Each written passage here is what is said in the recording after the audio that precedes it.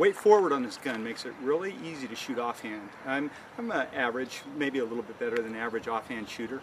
Uh, when I hunt, I usually use hunting sticks to get on target, but uh, this, especially when I'm in the uh, full auto, I'm, I'm I'm having fun. I find I shoot this gun really well offhand. Part of the reason is uh, the weight of it is, is centered, and it, uh, it holds right in close to your body as you're shooting. Allows you to get right on target, to hold it on target. Very little uh, weight, you know, out on the, the, the forearm. You feel it all balanced really, really well, really in tightly. Uh, of course, there's no uh, no kick with the gun, so when you're in full auto, you just hold on target, pull the trigger, and it just shoots away. Very shootable gun.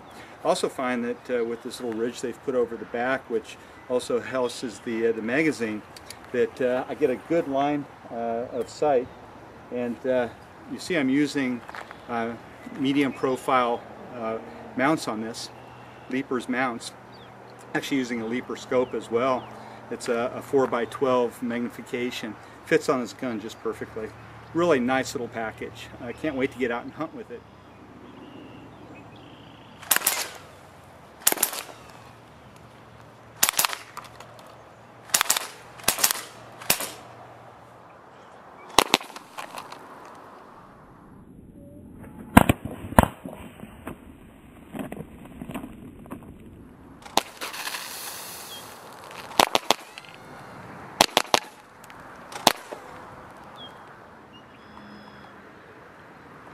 Look at that, not much left of those cans.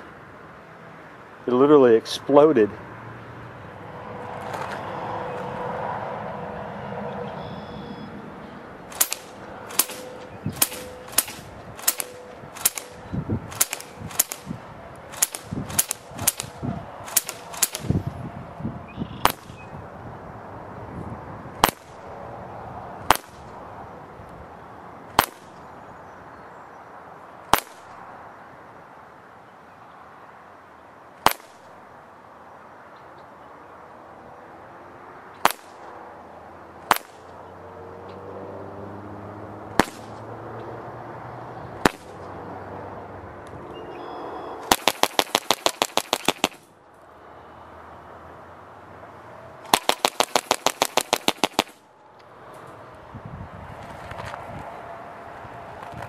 Gun. I'm really having fun with these targets. They're from Gun Fun Sporting Targets.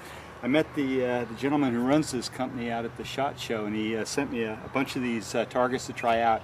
All kinds of games, sighting targets, everything you need for targets, but uh, really clever design. It's got this, uh, this board uh, in the back that has, has legs, stands, built in with clips all around to hold in the targets. All the targets are sized, fit in. They've got hunting targets, game targets, shooting game targets and, uh, and sighting targets.